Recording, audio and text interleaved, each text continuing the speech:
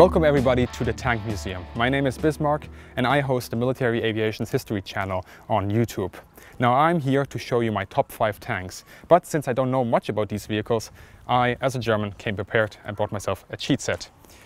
Now I base my choice mainly on the utility of tanks as a scout vehicle and using them in airborne operations.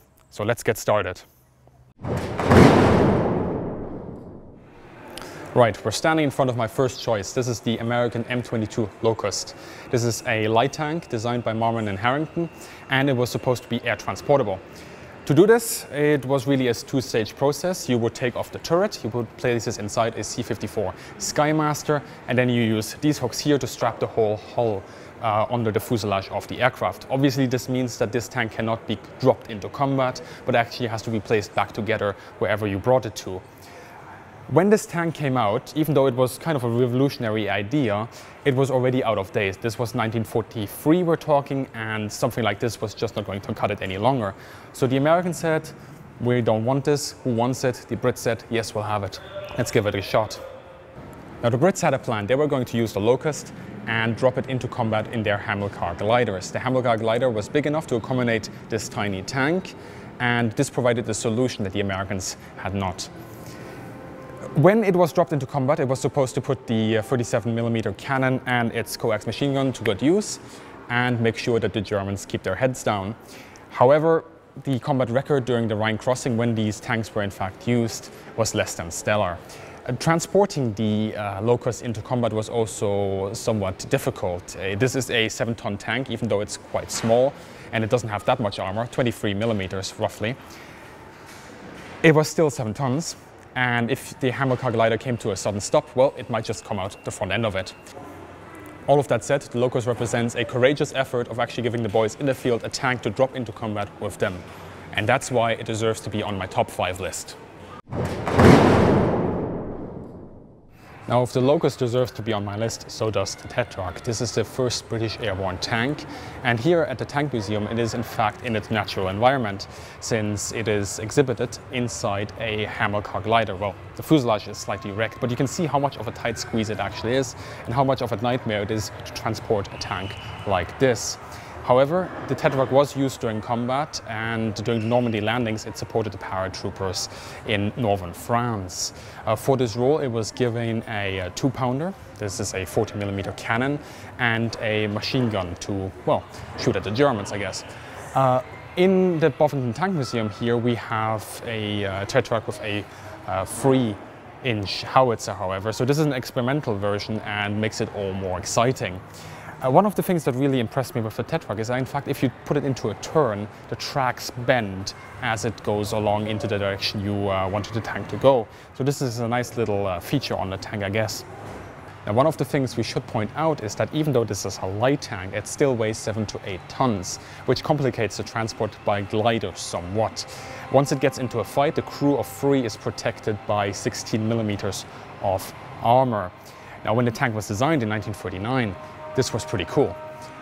In 1944, being dropped into a combat zone in Normandy, where every bush camping German has access to a Panzerfaust, things suddenly look a lot different. Because the Tetrarch represents once again a valiant attempt of dropping a tank into combat, it once again deserves to be on my top 5 list. Let's go over to my next choice. This is the FV703, also known as the Ferret and it inherits a position in the British tradition of the scout car in the post-World War II period. It is following the concept of the scout car pretty much to the letter. It is small, it is stealthy, it is speedy, and it can go anywhere at any time. And this really gives the army and the boys on the ground a vehicle that can do scouting in the hinterlands, on the front lines, and wherever you wish to do it. The thing that really impresses me about Ferret is its speed. It can go on road uh, up to 100 kilometers an hour. Uh, that's for you Imperials out there, 60 miles an hour. So this thing can do some serious speed. Right, let's turn to Ferret's weaponry. It has, of course, a rifle caliber machine gun, which is pretty good for close defense, but that's pretty much all it can do.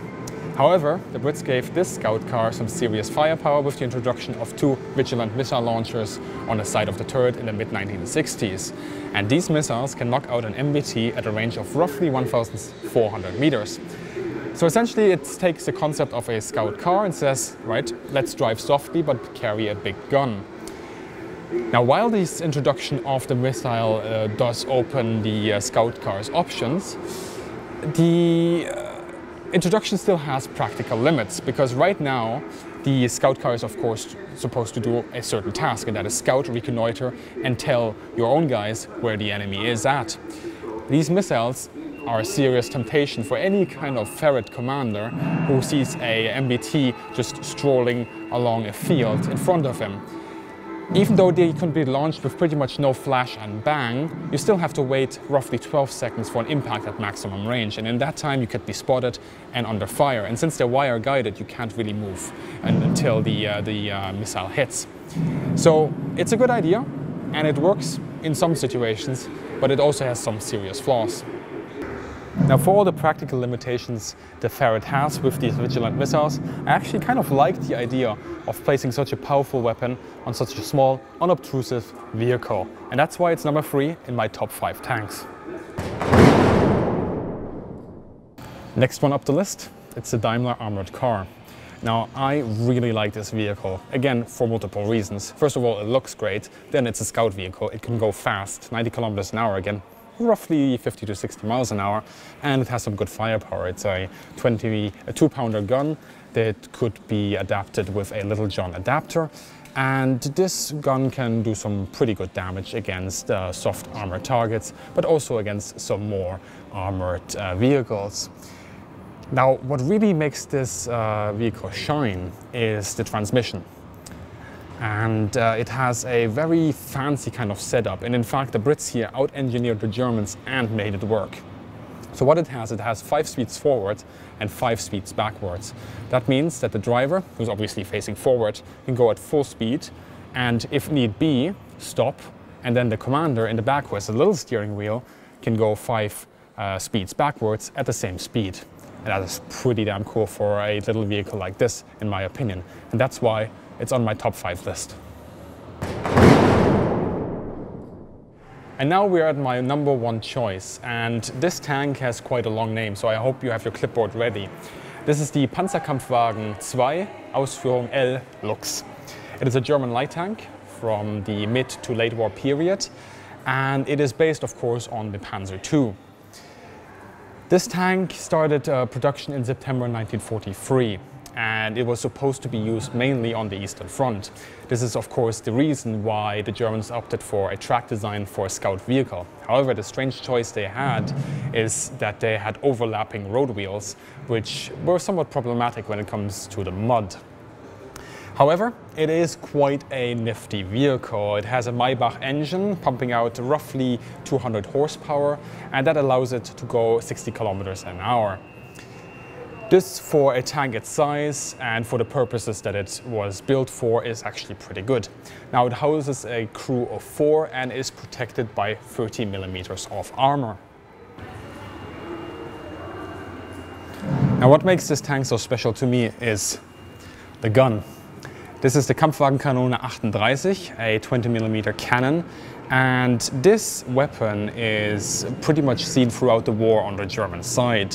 Uh, it derives out of the Kampfwagenkanone 30 and uh, shares a family tree with the uh, Flakkanone 30 and Flakkanone 38, which obviously were designed to shoot down aircraft, which is why this makes me this, this gun so special for me.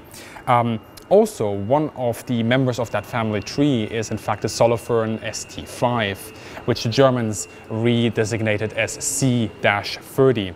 And that cannon, that 20 millimeter cannon, was one of the first 20 millimeter cannons that was actually mounted in an aircraft.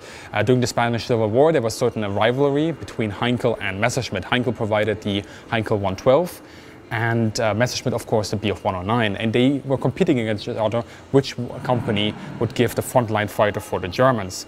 And Heinkel decided to place the uh, C-30 uh, cannon in a Heinkel 112, send it off to Spain, and there it in fact insisted in the destruction of a armored train and a few armored cars. and uh, before it would uh, continue its service, actually it crashed and uh, destroyed itself and as such uh, that experiment essentially failed. Now because I like the look of this tank and because this gun is so ubiquitous in its service for the German armed forces, this is my top tank. That was my top five. I hope you enjoyed them. Don't forget to subscribe to the Tank Museum's YouTube channel and to, to support them on Patreon. Also make sure to check out my channel, Military Aviation History, and to check out my Patreon. As always, have a great day, good hunting, and see you in the sky. And now, we wait for the Stukas.